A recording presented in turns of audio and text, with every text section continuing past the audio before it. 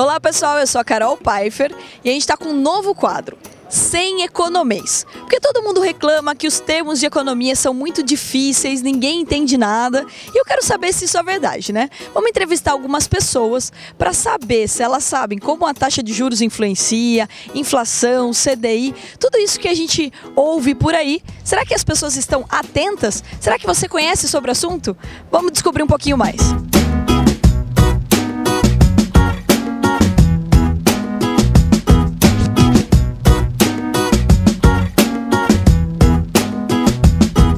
Lucas, eu quero entender se você sabe o que é o CDI. Não, nada.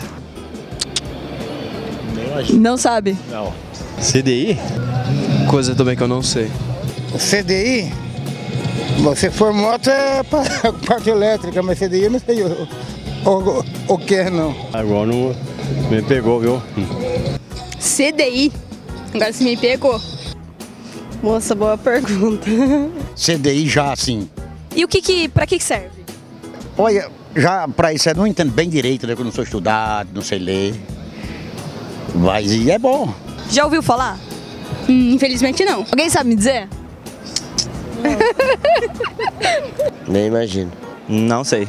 Quer nem chutar? Não, eu só não sei o que, que significa essa sigla. O Luiz vai me ajudar. Luiz, o que que é o CDI? Ah, um CDI. Eu nunca vi falar, não. Por enquanto eu não tenho a menor ideia, não estou com o meu Aurélio em mãos. Vocês viram que foi difícil de descrever os termos de economia, né? Então a gente está tentando ajudar vocês no quadro Sem Economês. Assista os outros vídeos e veja se vocês entendem um pouquinho mais sobre esse assunto tão importante pra gente, que é economia.